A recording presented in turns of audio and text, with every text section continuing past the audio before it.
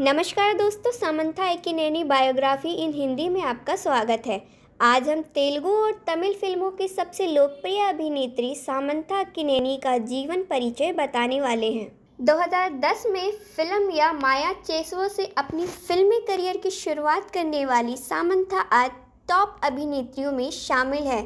उन्होंने अपने टैलेंट और बेहतरीन अभिनय किरदार से सबसे ज़्यादा तमिल एवं तेलुगु फ़िल्मों में अभिनय किया है। सामंथा अकिनेनी अभिनय के साथ सामाजिक कार्य करने के लिए भी प्रसिद्ध हैं। सामंथा का जन्म 28 अप्रैल 1988 को तमिलनाडु के चेन्नई के पल्लावरम में हुआ था। सामंथा अकिनेनी ने अपनी स्कूली शिक्षा चेन्नई शहर के Holy Angel Anglo Indian higher secondary school से ली है। वर्तमान समय में सामंथा चौंतीस साल की हैं। Samantha Akkineni family. सामंथा का जन्म एक ईसाई परिवार में हुआ था।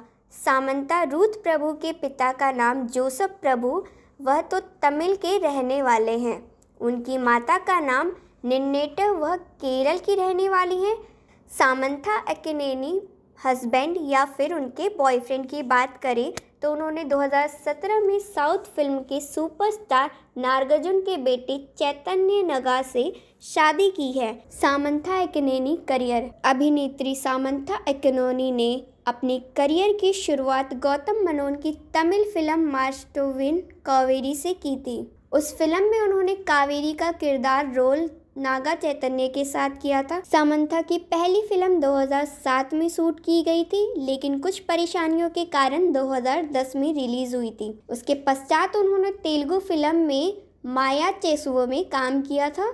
उन्होंने कई फ़िल्मों में अभिनय किया। उनमें सबसे ज़्यादा तमिल और तेलुगु फ़िल्में हैं। अपने बेहतरीन डांस स्किल और अच्छे किरदार के साउथ फ़िल्म इंडस्ट्री में अपनी अलग छाप छोड़ी है।